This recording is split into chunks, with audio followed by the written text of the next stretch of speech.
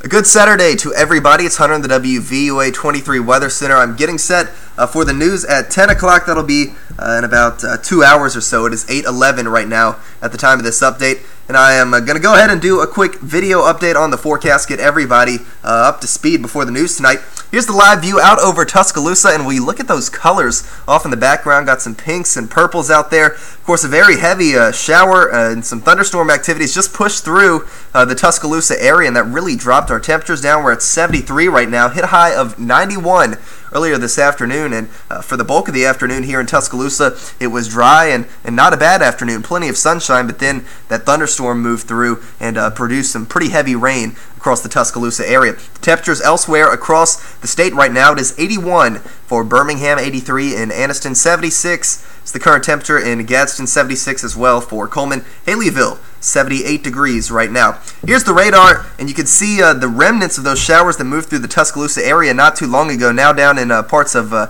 southern Tuscaloosa County, so northern Marengo and uh, northern Greene County right now. So some heavy rain at the time of this update for uh, Knoxville, just south of uh, Ralph. Also, the Moundville area seeing some uh, pretty heavy rainfall out there, but uh, still a, decent coverage of some showers and storms out there. Also, some heavy rain uh, falling over parts of uh, Bibb, Chilton County. You can see areas like Maplesville seeing some of the rainfall right now. But the good news, as we head through the next couple of hours, I think this activity gradually starts to wind down. And by the time we get towards 11 o'clock tonight, midnight, I think the vast majority of these showers and storms should be dissipating at that point. But over East Alabama, some rain over there as well, kind of just north of the Anniston area right now. Uh, generally over parts of uh, Calhoun County, Jacksonville, seeing some rainfall right now. Also, Piedmont could be impacting the I 20 corridor uh, here before too long. So uh, we are still watching some of those showers and storms both over West Alabama and East Alabama uh, at the time of this update. But we'll go ahead and uh, show you a bigger picture on the satellite and radar just so you can see everything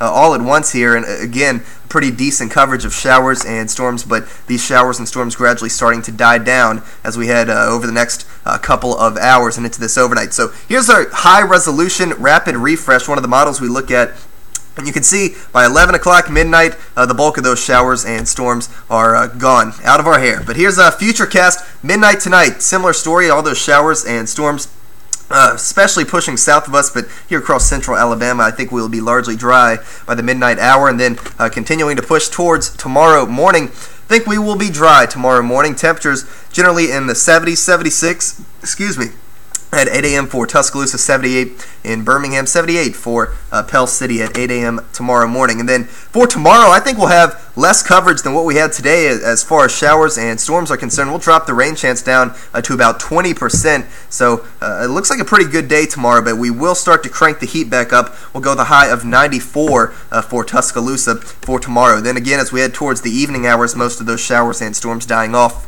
for tomorrow.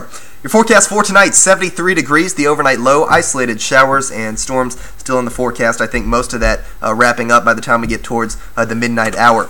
Then for tomorrow, here's your forecast 94, the afternoon high. Isolated showers and storms still in the forecast will keep the rain chance at around 20% for tomorrow. In your WVUA 23 News extended forecast, you can see for Monday the rain chance staying down at around 20%, but the highs creeping on up 95 for Monday. Tuesday, an absolute scorcher 97, and I actually think Tuesday has the best rain chances over the next few days, but that's not saying much. Still down at 30% even for Tuesday, and then by Wednesday, 98 for the afternoon high. The chance of rain staying down at around 20%. So the rain chances really start to dip off as we head into the work week, but the afternoon highs, those start to rise up into the upper 90s. Feels like temperature values could be up in the triple digits. So summertime in full control here uh, across central Alabama as we head through the next week. But that's it uh, for this updated it, update. Excuse me. Just wanted to get everybody up to speed uh, before the news tonight at 10. If you could join me, I would love if you tune in for WVUA 23 News at 10. And by the way, if any of you snapped any pictures of the storms